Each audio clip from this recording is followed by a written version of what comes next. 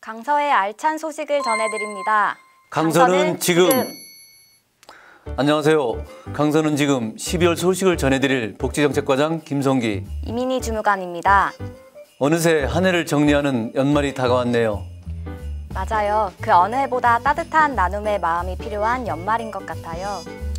올겨울은 지난해보다 춥고 미세먼지도 심할 거라는데 여기에 코로나19까지 그 어느 때보다 더 춥게 느껴지지 않을까 싶습니다.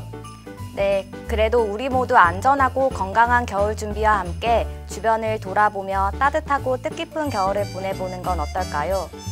이번 12월 강석가치 뉴스에는 추운 겨울 훈훈한 열기가 가득할 수 있는 소식들로 알차게 채웠습니다. 그럼 지금부터 저희와 함께 보시죠. 올겨울 아름다운 기후에 동참해 뜻깊은 연말을 보내는 건 어떨까요?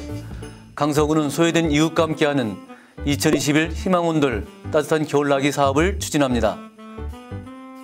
서울사회복지 공동모금의 주관 강서구 후원으로 저소득 주민의 따뜻한 온정을 나눌 수 있도록 2021년 2월 15일까지 다양한 모금 활동을 전개합니다. 올해부터는 QR코드를 활용해 간편하게 기부할 수 있도록 준비했는데요. 휴대폰으로 QR코드를 스캔하고 일시 기부하기를 터치하면 강서구 기부금 계좌로 연결됩니다. 우리 모두 아름다운 기후에 동참해 마음이 따뜻한 연말을 보내는 건 어떨까요? 올해 코로나19로 많이 힘들고 지치셨죠? 강서구는 영화로 마음을 치유하고 현명하게 살아가는 삶의 지혜를 배울 수 있도록 세상을 해석하는 영화 읽기, 영화 인문학 교육을 준비했습니다.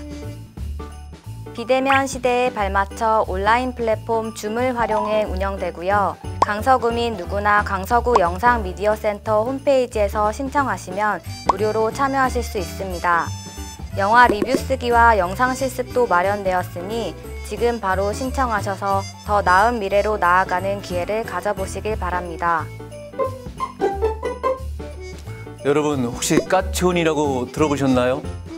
기존보다 4배가 빠른 공공 와이파이 서비스를 무료로 강서구에서 누릴 수 있게 됐다는 소식입니다. 강서구는 서울시 공공 와이파이 까치온 시범지역으로 선정돼 공원, 산책로, 전통시장, 주요 도로 등 공공사용권 전역에서 서비스를 제공합니다. 까치온은 좋은 소식을 전해주는 까치와 와이파이가 켜진다라는 뜻의 오늘 결합해 만든 명칭인데요. 서울 어디든 와이파이가 잘 터지는 좋은 소식을 몰고 온다는 의미도 가지고 있답니다. 특히 보안 접속은 한 번만 설정해두면 까치온이 깔린 모든 곳에서 자동으로 연결된다니 참 편리하겠죠. 지금 중장년 시절을 보내고 계시는 분들 노후 준비 어떻게 하고 계시나요? 강서구가 중장년들의 인생 이막을 지원하기 위해 강서 50플러스 센터를 본격 가동합니다. 강서 50플러스 센터는 장년층의 인생 재설계와 사회공헌 활동을 돕는 지역 밀착형 시설인데요. 일, 가족, 건강 등 인생을 재설계할 수 있는 인생 설계 사업부터 연륜과 경험을 바탕으로 한 경력 개발 사업, 사회적 관계 형성을 돕는 커뮤니티 사업과 다양한 취미와 여가 활동을 지원하는 문화 조성 사업 등을 진행합니다.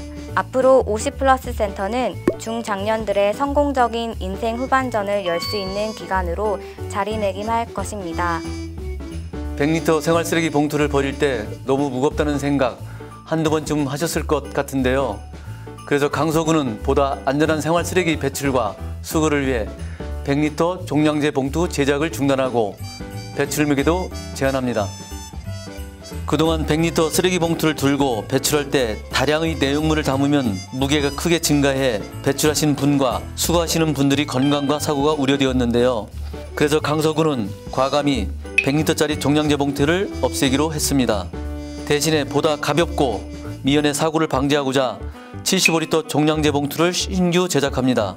12월 1일부터 종량제 봉투 판매에서 구입할 수 있는데요. 물론 시중에 유통 중이거나 그동안 구입한 100리터 봉투는 소진 시까지 계속 사용 가능하다고 하니 걱정 마세요. 지금까지 강석 까치뉴스 12월호의 주요 내용을 살펴봤는데요. 보다 자세한 내용과 더 많은 소식이 궁금하시다면 모바일로도 이용 가능한 지면 보기 서비스도 있으니 꼭 활용해 보세요. 올겨울 코로나19로 지친 주민들이 에너지를 재충전할 수 있도록 온 오프라인으로 즐길 수 있는 2020 온종일 평생학습 축제와 다양하고 실속 있는 강서 평생 아카데미도 마련했으니 꼭 확인하셔서 유익한 시간 가져보시길 바랍니다.